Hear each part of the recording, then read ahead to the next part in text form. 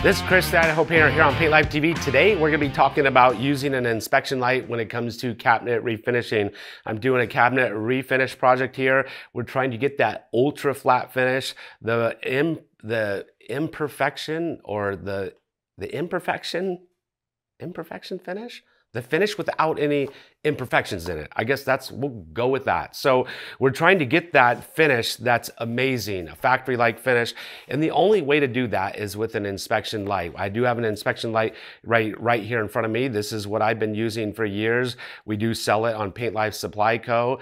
It's absolutely amazing. This inspection light will actually um, hinge moves up and down so you can cast the light across your table just the way you want it. Now, the benefit of an inspection light without an inspection light, if I cast this thing up, that's at me, so that um, we'll just cast it down. So now I got the table right here. I, this finish actually looks pretty amazing. It looks pretty dang good. I would say, well, that thing's finished. Well, we'll just cast a light from an inspection light right across this door right here. Now I can see all kinds of imperfections. I can see a seam here. We've got things we've already filled. I can see surface tension on here. That's the finish isn't very flat. I can flip my door over. I can see knot holes. I can see all kinds of things that this light casts. Now what happens is an inspection light, this bright LED cast light across this door and it's going right across this flat uh, surface. But anything that it doesn't, any type of holes or indentations, it's going over the top of that and it's leaving a dark shadow where all those imperfections are. And those are the imperfections you want to begin filling. We start filling, we use Bondo glazing putty or spackle. I'll use spackle for anything large. I'll use Bondo glazing putty for anything small. And I do have a video, you know, explaining when, what I use uh, and when on uh, both of these products here that you can check that out another time. So I'm just cruising right along. You can use, um, put your Bondo glazing putty on a, a piece of cardboard. If you're doing a lot of filling, if you're doing a little bit, you can just put it right on your knife. You can see I'm gonna be filling these seams right here, I've got the seams on my doors which show up. It's good to fill those seams in. I'll flip it over. Uh, these are where the hinges were. It left uh, marks because the previous hinges were put on when the coating was still wet. But I can flip this over. I got some seams right here.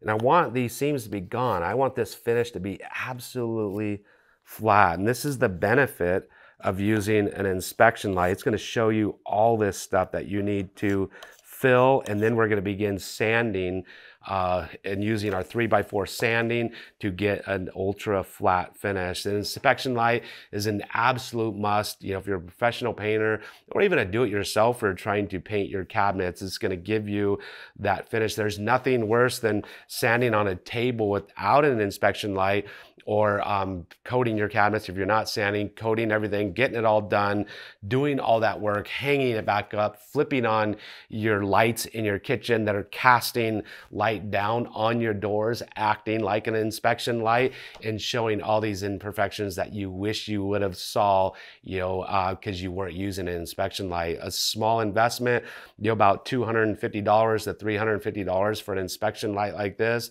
And it's gonna, it's gonna make your cabinet painting to the next level and give you that ultra perfect finish. You can check it out. The light, we got it Paint Life Supply Co. We do sell the light. You can mount it different ways. You can mount it on a table, mount it on a piece of wood, however you like, however you choose. I got it mounted on a piece of one um, by three trim that I just got from my local hardware store.